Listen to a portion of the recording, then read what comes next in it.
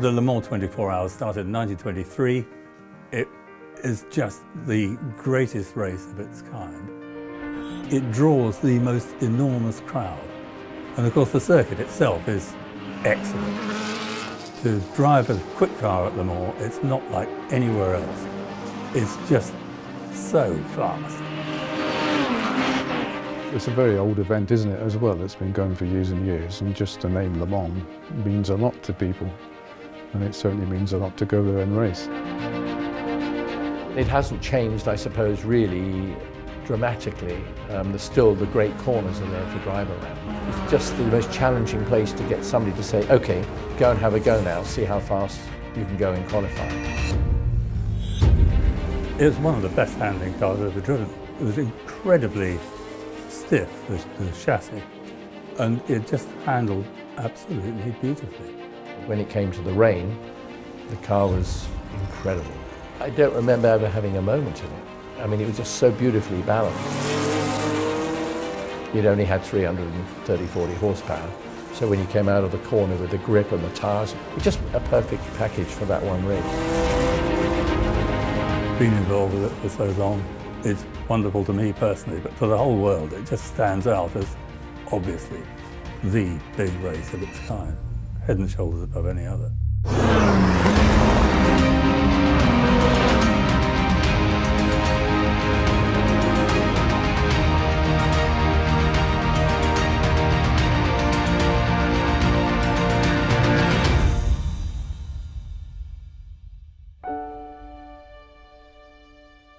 A couple of years after I joined Porsche, several years ago now, I was invited to go out to Germany on a program called Introduction to Porsche, where we got to see the museum and so on and so on. At the end of the trip, our Porsche colleagues tried to give every, um, every delegate from around the world a model sporting the flag of their country. So, so I was given this model of a, of a 924 you know, carrying the, the Union Jack. And uh, I remember looking at the time and um, not really realising that the reason they gave me that model was that was the only car ever that carried the Union Jack and therefore there was no other model they could give me. And it sat on my shelf in, in my office for, for quite a long time until we realised we were coming around to the, the 40th anniversary of the launch of the 924 back in 1976 we were wondering how to really celebrate that milestone and get engaged with it and I, and I suddenly remembered this model on my shelf and I started to wonder where is this car you know? What what happened to it? Where, where is it now? What what condition is it in? Can we get hold of it until 76 they only had the 911 model which was rear engine air cooled and all the customers of course were steeped in 911 and then the 924 came along water cooled front engine transaxle quite a new design completely new in every way. And I think the purists thought it's not a proper Porsche it's, it's you know like what is it? Then PR man Mike Cotton came up with the idea of a one-off championship for just one year. In order to promote the 924, still then a new model, we decided to run a Porsche 924 Racing Championship in 1978. It was very, very close all the way. I think I only had pole position once in the whole year, but uh, I won two-thirds of the races outright, and Andy was second.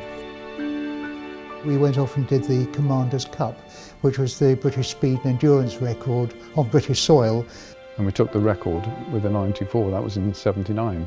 You know, we'd already done a 24-hour event with the Porsche 924, so we knew we could trust each other. You probably couldn't have chosen a better couple of guys to get the car to the finish.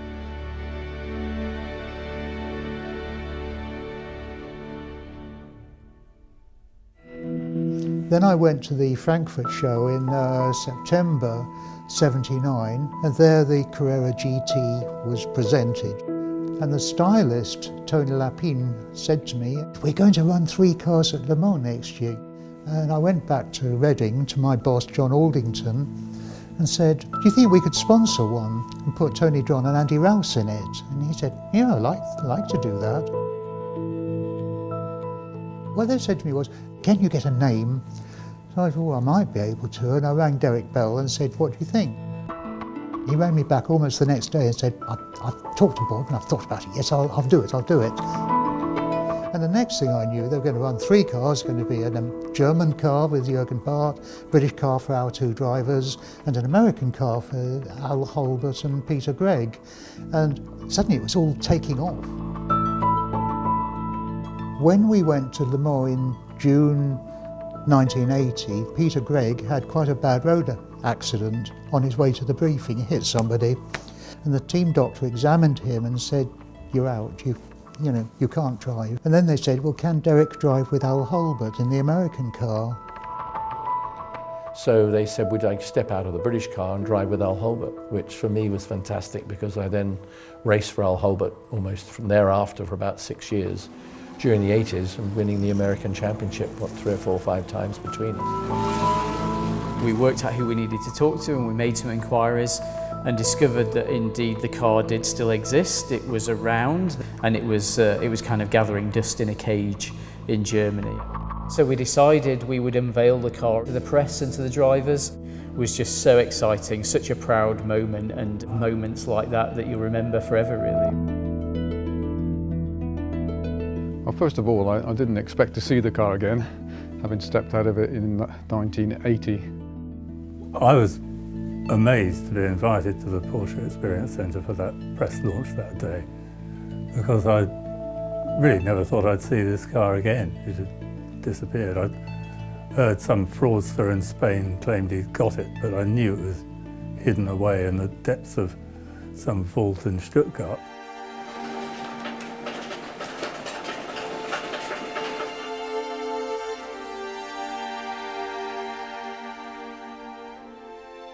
Porsche history is very important. Uh, it's the core of the Porsche brand, and uh, you have to take good care of your history. And uh, without history, you have no future. We have a secret storage facility where we store all the cars which we do not have on display and uh, which we don't sell around the world at the moment.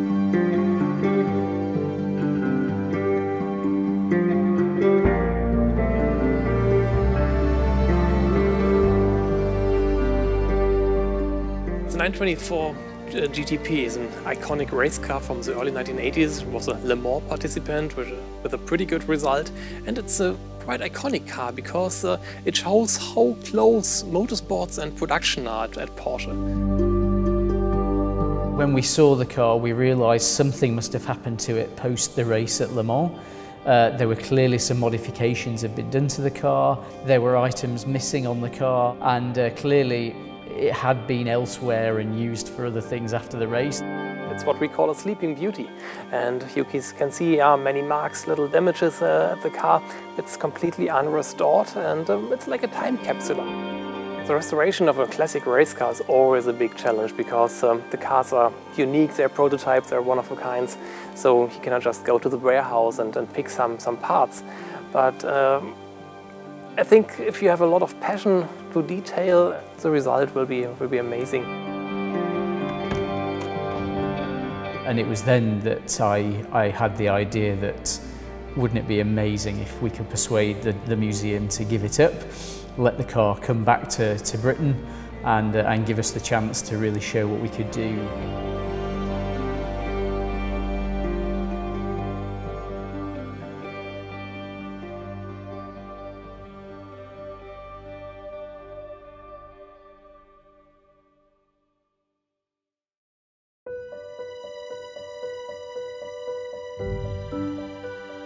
First time I saw it, it was a case of there's a lot of work to do on this, there's a lot missing. It built up a bit of a, yeah, it can be done, but this isn't a, the work of a moment. Race cars, by nature of the beast, they are development mules. They, they get little bits and pieces put on them all the time to make, make them more reliable and make them faster. The drivers came to see it at the launch and they were quite sort of surprised that it's not as it finished Le Mans. And they were sort of saying, well, it, we, we brought it back home and it was in one piece and hardly a mark on it. The car is just a one-off. It wasn't made in, in any significant series numbers, so a lot of bespoke and hand detailed items on the car. We needed to get the car stripped as quickly as possible so that we would be able to analyse what we had what we didn't have. And of course, that's the biggest risk to any project like that, that you just don't know the extent of that. The museum, they have lots of spare parts that we've said we can look through and once we've identified what's missing then we can look through their list of spare parts. If they haven't got it then we're just going to have to either make it or uh, try and source it from somewhere else. So once the car was, uh, was into pieces, the aim was to distribute the various parts of the car to the classic partners. So we have Porsche Centre Swindon who have a big job in restoring the engine. Hatfield have got the gearbox, the plumbing and the wiring which and, and the rebuild area is going to be at Leeds. That's a big job in itself and then the suspension is, is up in Glasgow. So it's a case of we have to coordinate all these various individual projects for the same car to be happening at the same time. This would enable us to get lots of people involved in the car, but it would also enable us to do the car within quite a, a tight time frame. We're hoping to do it in six months. Um, so for a restoration, that's an incredibly tight time frame. Having said that, when Norbert Singer was given the, the go-ahead to produce these cars, he was given seven months to produce them from scratch. So once the car was stripped, off it went with its various technicians uh, to the four corners of the country. Uh, and I, I am really grateful to the collaboration all the guys showed, making sure that the, the things they were doing on their individual parts was the right thing for the, for the project as a whole.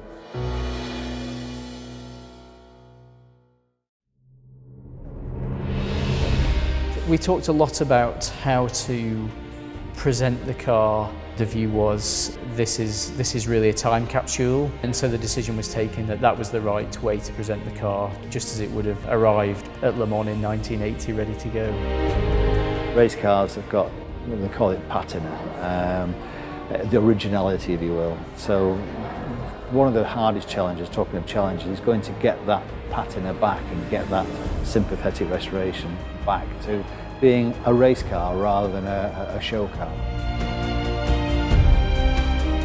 Try and keep again the materials that are being used exactly the same as the materials that were used in 1980. We have the full fiberglass front clamshell. That actually has been modified. They've actually moved the air intakes for the brakes further out. We've got to cut this out, bring the air intakes for the brakes further in and also narrow the air intake to make it look as it was originally when it raced at Le Mans. I mean, the, deciphering the drawings was, was quite a challenge because we had them sent over and they were scanned. Uh, so we haven't got the original drawings. We've got parts of drawings on different images. So we've had to print those off and try and decipher which bit goes on where and, and make a collage out of it basically.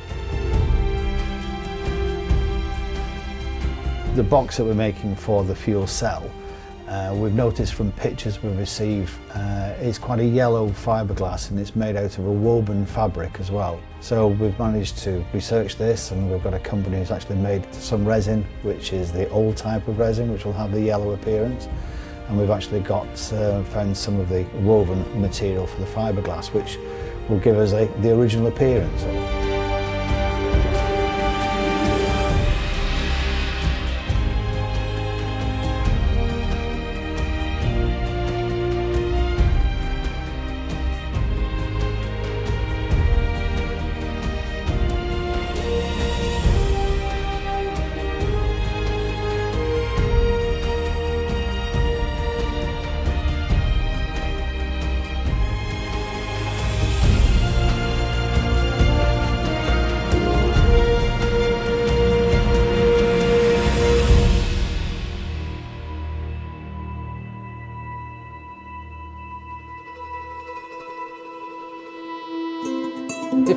Restoring a road car and a race car is that a lot of the time these cars were made from scratch. You know, they're bespoke items. They weren't built off a plan, so trying to track down original drawings or plans is very, very difficult. It's finding these bespoke parts which Porsche use. They use the best that they could find. It's beautifully machined, beautifully made, typically Porsche, function over form, um, built for lightweights, built for longevity, um, typically beautifully engineered.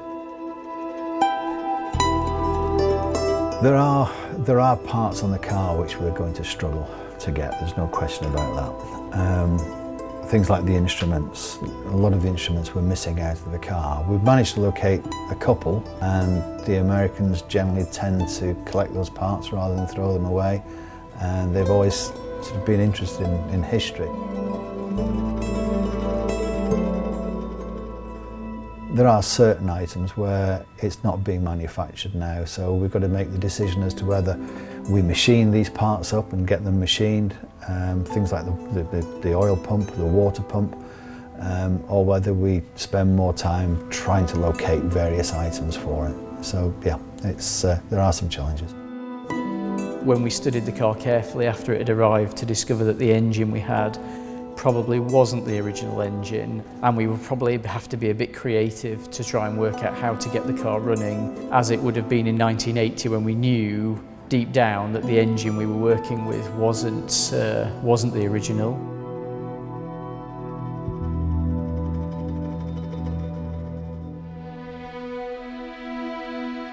I could not believe my eyes one day. I was sat at my desk and an email came in from, uh, from the head of the Porsche Museum to say he'd been contacted by a gentleman in the, in the Czech Republic who was a well-known collector of um, transaxle race, racing cars uh, who claimed to have the original engine. I could not believe it. The engine in our car is from a later development and it would be lovely for us to be able to put that original number two car back to its original specification. And this is a perfect opportunity.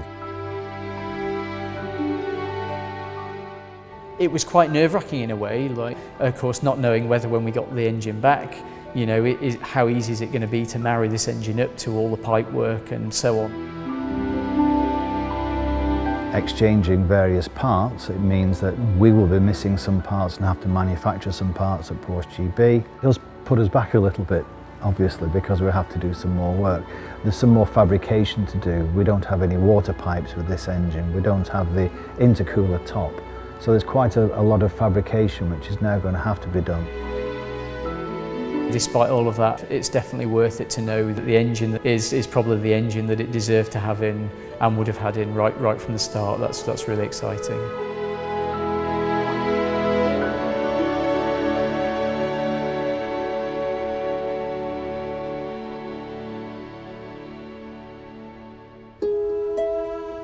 While all the Porsche centres were restoring their individual components, the guys at Road and Race had a, had a job on to really make sure that the work to the body uh, were, were done. And uh, it was really lovely that kind of everybody working together, even though they were remote, everything kind of uh, came together. I couldn't have asked for a better turn of fate, really, that everything came together at the right time and the car could uh, go in to be painted, knowing that when it came out, everything would be ready hopefully to start gradually building the car back up again.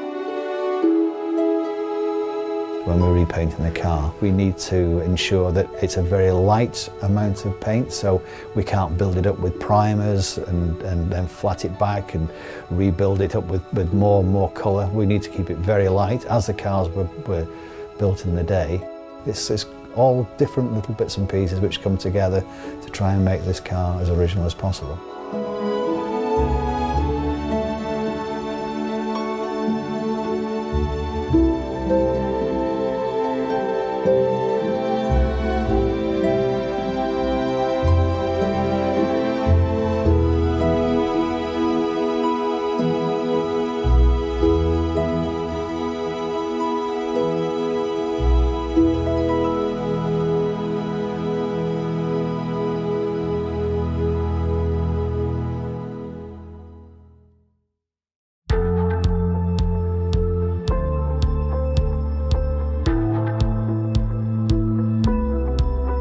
The wheels have been taken away, they've been fully restored and we've now got the replacement tyres as well. The technicians from Glasgow, they originally took all the suspension items off, the braking items, they took that away, they then restored those components back up in Scotland and then what they've done today is come back down to fit it back to the vehicle. And the 924 in itself is really invigorated our view of classic and the way that we look at it. It's taking something that looks sorry, a little bit broken down, a bit unloved, and just bringing it back to life. I can't wait to see the car come together. I mean, we've got it partly rebuilt at the minute, and you can already see it taking shape.